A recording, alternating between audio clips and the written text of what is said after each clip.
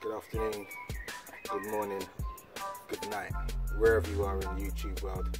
Today we're going to be talking about, yeah, the Nike Spiridons.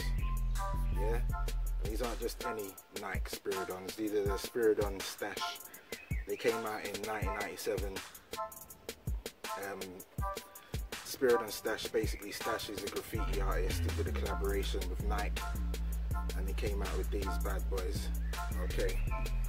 Now, I obviously like them from way back when they first came out in 1997. These are a re-release, obviously. Not a lot of people know about these, but these are one of the first shoes to have, um, what is it, Zoom Air technology put inside them. So have a look at the sole. Woo! I love the sole sometimes. But yeah, each one of these pods, you might as well call it, they've got Zoom Air technology inside it.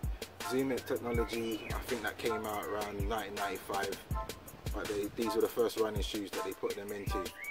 Uh, who was the runner? Ben Johnson? I think it was Ben Johnson that promoted these ones.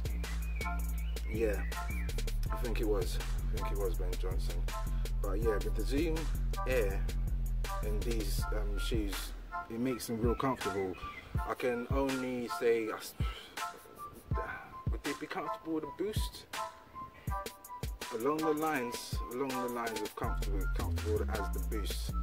Alright, let's, let's take another look at these shoes closely. Alright, for starters, you can see the design, it's got this piping, this MP, M3 piping going around. Basically, we take a picture of this, it will flash up, yeah? Then, if you look at the, the wave of it, going around. What does it remind you of, isn't it? It's the 97. Yeah, especially this little section here. Yeah, you can see where they were coming with the design from the 97 from these anyway. But as you carry on, you've got the mesh going up on the top. I believe these are called Harbor Blue. Uh, blue cayenne going through it. Don't forget about the little tabs which we see from the 95s also because you, look through they're going straight down. They call it the quick lace system. Zip, zip, zip, zip, whatever. Uh, where am I? Yeah.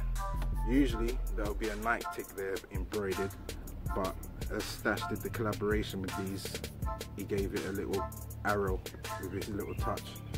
Don't forget on the back here we've got his little logo there as well. That's his and then on the bottom you've got Nike Air etched out in the middle of, the sole. You look inside, I don't know if you can see it because of the sunlight, but he's got a, got a design on the bottom of the sole there. And that's a, that's um, spray captives. You know, you spray the can graffiti, that's what he's done. These, like I said, these are comfortable shoe. I've always had my eye on these. I'm so happy I picked them up. I would like to get these in a black and a grey. I've seen them and they're fire. But yeah, these are Nike Spiridon. Love them. London Peaks in the building. 100. Boom.